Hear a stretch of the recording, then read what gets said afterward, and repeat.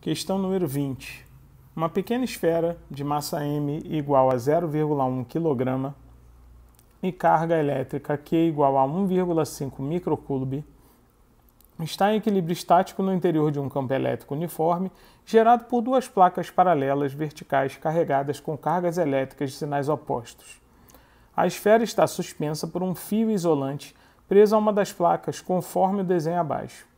A intensidade, a direção e o sentido do campo elétrico são, respectivamente, dados cosseno de θ igual a 0,8, seno de θ igual a 0,6, intensidade da aceleração da gravidade g igual a 10 metros por segundo ao quadrado.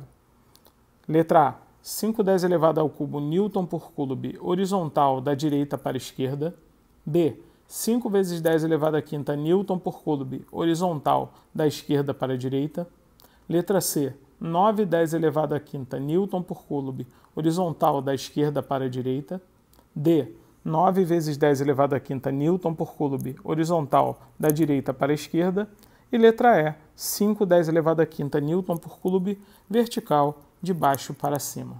Vamos então à solução da questão número 20, onde nós temos uma esferinha, né, uma pequena esfera de massa m igual a 0,1 kg, carregada com uma carga Q de 1,5 microcoulomb, ok? Nessa posição aqui em equilíbrio estático. Bom, equilíbrio estático, essa é a palavra, né? O que significa isso? É que a partícula está parada, ela está equilibrada e, logicamente, estática, ela está em repouso, certo? Isso significa equilíbrio estático, ou seja, a resultante das forças é igual a zero. Mas eu tenho um problema. Quais são as forças que atuam nessa partícula? Né? Basicamente, nós temos o peso, que é vertical e para baixo, correto? Nós temos a tração, repare que a tração ela é na direção do fio para fora do corpo e junto ao corpo. Aqui está a tração, certo? A força de tração no fio. E nós temos, naturalmente, puxando ela para o lado, a força elétrica, certo? Isso aqui é muito importante, porque a força elétrica é quem determina para você aqui, né, o sentido é, do campo elétrico, né?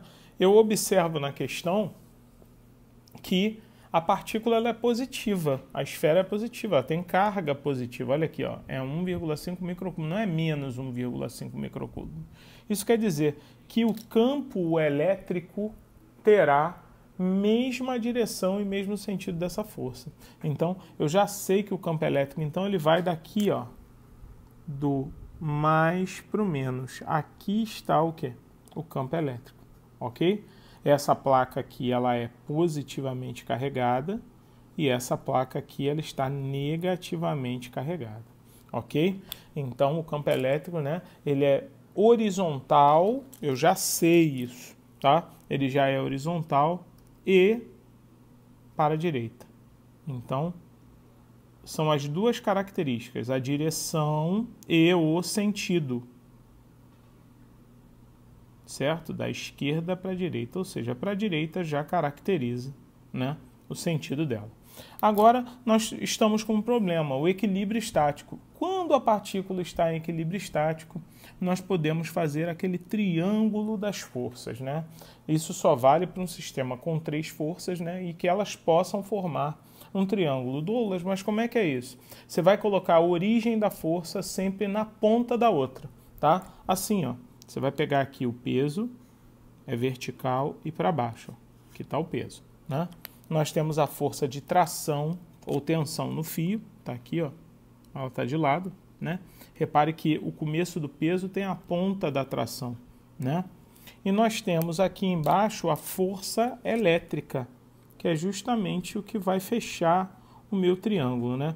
Outra coisa que é importante é que esse triângulo certamente ele é retângulo, porque como o peso é vertical e para baixo e a força elétrica ela é horizontal para manter né, o sistema em equilíbrio desse jeito, tá? Então eu já sei que esse ângulo aqui formado entre o peso e a força elétrica é de 90 graus.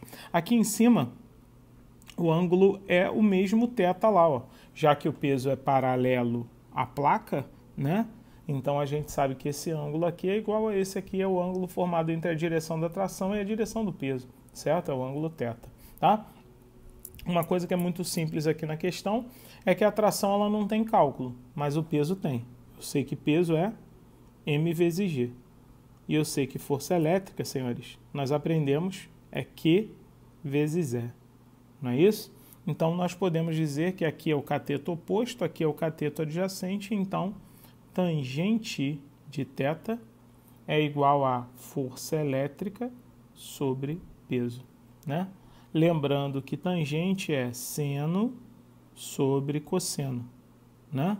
Daí nós vamos ter Q vezes E sobre M vezes G. Agora, senhores, é só uma questão de substituição né? Eu vou jogar para cá para a gente ganhar um pouquinho mais de espaço na resolução, correto? Então vamos lá. Quem é o seno de θ? 0,6. Quem é o cosseno? 0,8.